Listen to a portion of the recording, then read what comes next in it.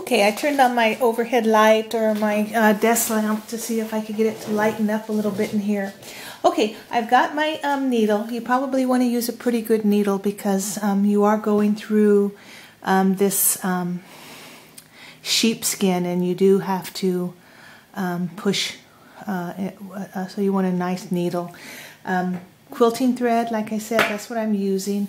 our first step is going to be to take our um, top piece and put it to our toe piece. So we're doing our first step is to sew this piece to this piece right here. Can you see that? And that's what I'm going to do. So what we're going to do is we're going to do, um, we're sewing right sides together. So we're going to put the fuzzy part together. You're going to have a little bit of an overhang here and a little bit of overhang on there. That's so that when you open that up, it'll all look even. So let's go ahead and put a couple pins in there so we know exactly where we're sewing.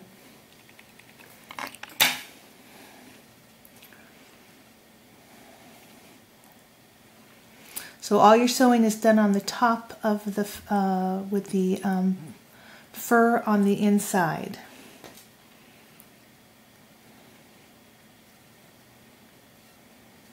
Okay, so there's that. And there's the back. If you have too much of this fur, just pull it out and get it out of the way. Okay, so you're going to, what first thing you're going to do is just put a um, knot in your, in your um, thread. Just go around a couple times and pull it.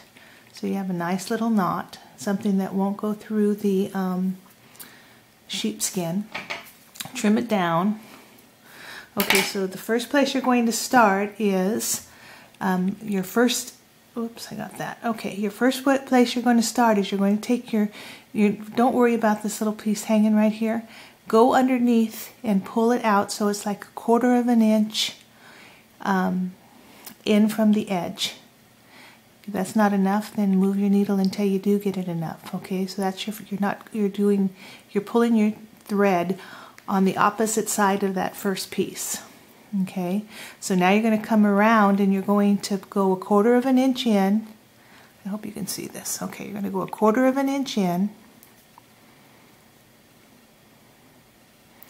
And that is going to be, and go all the way through to where that first piece came through. Okay, so that is stitch number one and you want to pull it tight. So on these stitches you want to keep them pretty even towards the top. Now I pulled mine really tight and I'm thinking I did I pulled them too tight.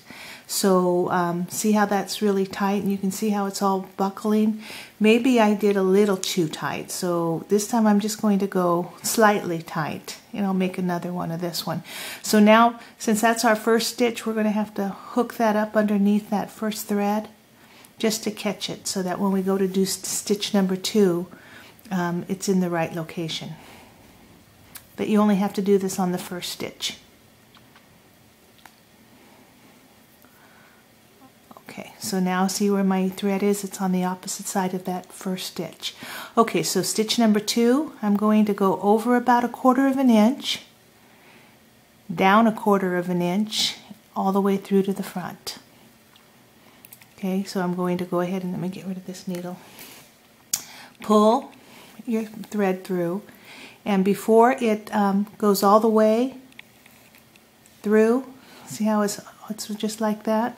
What you want to do is you want to come up and go inside that so that when you do pull that thread tight, what's going to happen is it's going to catch and now that's perpendicular, perpendicular to the edge. Okay, let me do it again. So go down over a quarter of an inch, down a quarter of an inch. Okay, if it's not right, move your thread, move it around in the front until you got it right. Okay, so pull it till it's mostly in, and then put your needle through there so that when you pull that tight, it catches that thread. Okay, so you want to do a little bit tight, not too tight, just a little tight. Okay, next stitch. Same thing. Over a quarter, down a quarter. If it's new much in front, move it around. Okay, make sure you keep your, your, your fabric in the right location. Okay, so same thing. So you can do this all the way across. If you miss one and it's not tight enough, you can go back and pull it so you do make it tight enough and then catch that there. Okay, so once you get the hang of this, you're going to be able to just look and see where your next stitch is supposed to go.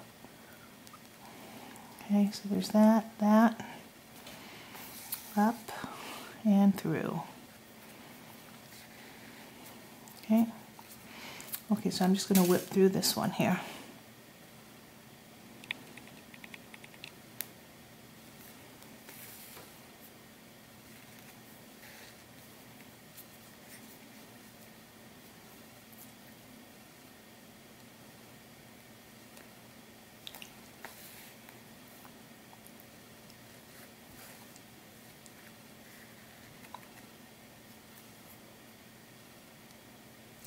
You know, I was thinking that you could probably even, um, you know how they make those um, sheepskin uh, vests that have the sewing on the outside so you can see the fur on the, um, the seam, how they sew it together? You could probably do an entire vest by hand too. I mean, if you like hand sewing, otherwise you're probably better off on the sewing machine. But you know, it's just an idea. I'm going to give it a try, see what it looks like. I like this rustic look.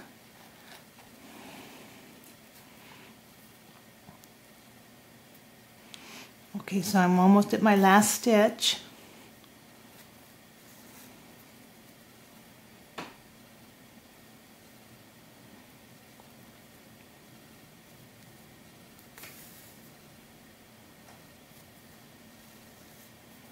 Okay, so now before I cut that off and finish it, I want to check and make sure that um, all my stitches are pretty uniform because before I um, seal it off, I want to make sure that it looks pretty decent. Okay, so um, I don't know if you have a shoe form or not, but that's what this is right here. This is going to come up across, and that is going to be your toe and the top. So even though I wasn't as tight as I was on this one, I'm still getting that little puckering here. So um, I guess it's just the way this shoe is made that there's really no way of getting around it. So anyway, I didn't cut that very well, did I? Okay, so let's go ahead and finish that off. So I am going to go ahead and um, go back into the same spot that I just did as I pulled it through. Now I'm going to see how I've got that like that. I'm going to turn around and go back in the same exact way I was the same stitch so you don't even see that I'm going over my stitches and that will lock that stitch in place.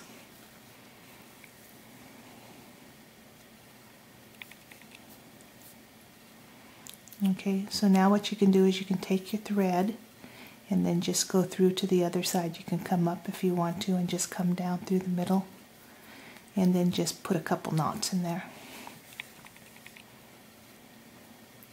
And that way you're securing that thread so it doesn't um, come apart on you.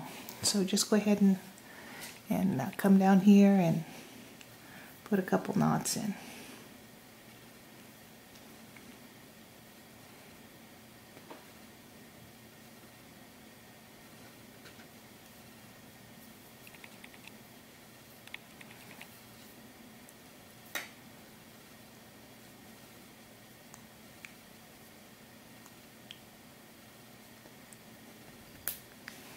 Okay, so that was that one. So step one, done. Okay, step two is taking the back of your um, shoe and you're going to sew this side completely up one side the same exact way we did. I'm not going to do this all on camera because it takes too long to do the hand sewing. So um, what I'm going to do is sew this side up and then I'm going to turn around and I'm going to take this side and I'm going to sew it up. But I'm only going to sew up to um, right where that turn comes off. So I'm going to sew from here to here. So what I'm going to do is I'm going to sew and then I'm going to do my last stitch right here. And then I'm going to come up on the opposite side of this and catch that and do the same type of stitch and then I'll have room for one more stitch. So I'll have a stitch here right at that edge and then a stitch on top of that and then I'll finish that off right there. And that's how you get around these um, bumps because you don't, um, you can see right here I've got a stitch on this side and then I move this bump away and then I do a stitch right next to it on the other side and that's how you get around these two. And then here I'm going to only sew to where that stitch was. That was my last stitch right there. Okay, so once I got those two side seams done, then I'll come back and we'll put the foot on.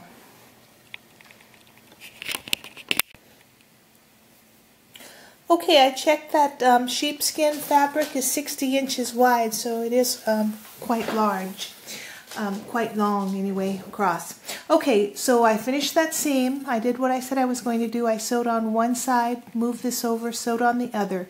And can you see how all this is all fluffy? What you can do is you can trim that down so it looks a lot nicer. But um, just make sure that when you are trimming that fur down that you do not cut your stitches. But um, once you hit that thick quilting thread, you'll know you hit a stitch or not.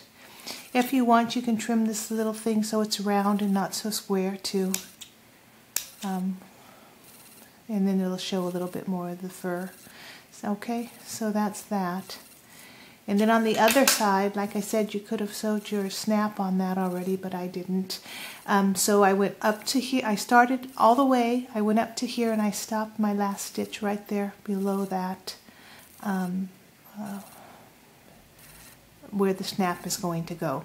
Now as far as going to the top, go on the other side, go all the way to the top because um, you don't want that to be open at the top because that is the top of your boot. This one stays open. We're just going to whip stitch around it.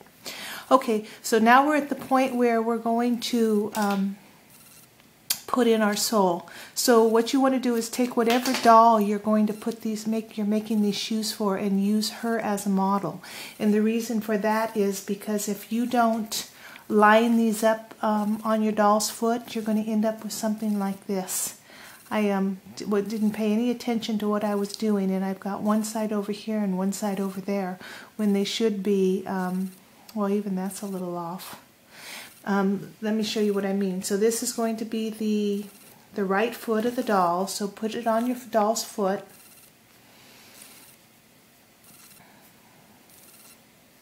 And uh, see how this is on one side and that's on the other? What you want to do is try and get them as close together this way as possible. So then take the sole of your foot and put that in there and put a couple pins in there if you can, just so you know exactly where you want to start your sewing. Um, let me put one here.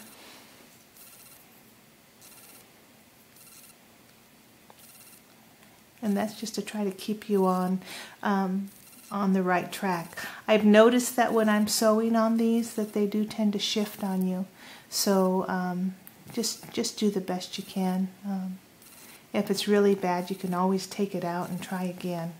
So let me um, put a pin here. So at least I have an idea of where to start.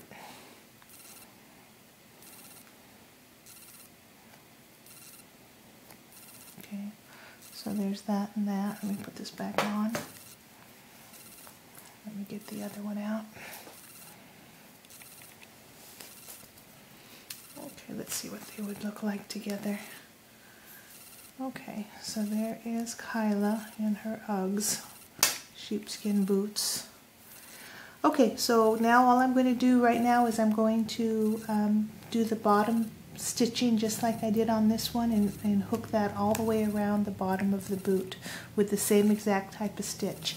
Same thing applies to these side seams. I'm going to sew here on this one side and then I'm going to come around and sew right on the other side so that you're going to get that little side by side um, uh, edging right there like that. Okay, I'm not going to do this on the video because it just takes too long. So I'm going to leave that pin in and I'm going to start in the back, go all the way around.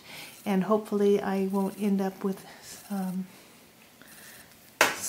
but you know, it's okay if it, it turns out like this, but what you want to do is try and get that so it's not so, um, but she can still stand, stand by herself with these shoes on, so, you, so you know, it's up to you whether or not you want to try and get that so it's more flatter on the bottom. Okay, so I'll sew that up and then I'll be back.